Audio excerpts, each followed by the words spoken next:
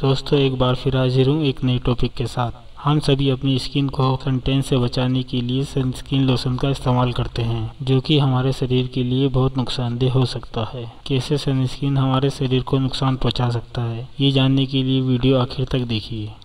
दोस्तों, हमारे YouTube channel पर आपका स्वागत है। अगर आपने हमारा चैनल सब्सक्राइब नहीं किया है तो हमारा चैनल सब्सक्राइब करने के लिए लाल रंग का बटन दबाएँ और जो हमारा चैनल सब्सक्राइब कर चुके हैं, उनका एक बार फिर धन्यवाद। वीडियो पसंद आए तो लाइक कीजिए और वीडियो शेयर करना ना भूलिए।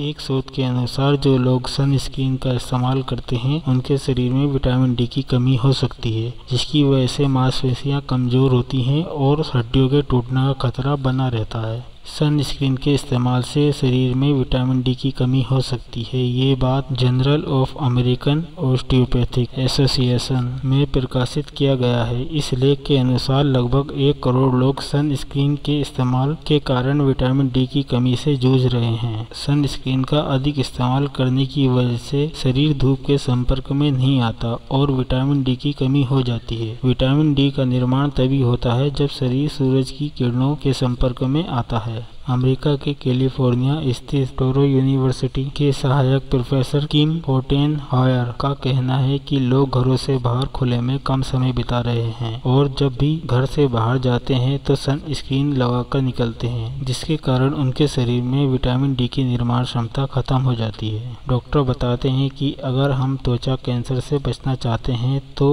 हमें हल्की धूप में बिना सन स्क्रीन लगाए निकलने की आदत अपनानी चाहिए, ताकि शरीर में विटामिन विटामिन डी का स्तर बढ़ सके। अध्ययन के मुताबिक टाइप टू डायबिटीज़ गुर्दों की बीमारी क्रोन सेलिएक जैसी बीमारियाँ खाद्य स्रोतों से विटामिन डी के चयापचय की क्षमता में बड़ी बाधा डालता है। विटामिन डी का निर्माण तभी होता है जब शरीर सूरज की किरणों के संपर्क में आता है। विटामिन डी शरीर की क्रियाकलापों में अहम भूमिका निभाता है। यह शरीर की रोग प्रतिरोधक क्षमता बढ़ाने प्रदाह को नियंत्रित करने और तंत्रिका एवं मांसपेशियों की कार्यक्षमता में वृद्धि करता है। वैज्ञानिक सन स्क्रीन का इस्तेमाल नहीं करने की सलाह देते हैं, क्योंकि एस पी एफ़ फिफ्टीन अथवा इससे अधिक एस पी एफ़ वाले sunscreen vitamin D three के उत्पादन में निन्यानवे प्रतिशत तक की कमी कर देती है। इसके लिए यह ज़रूरी नहीं कि आप दिन भर धूप सेकते रहें।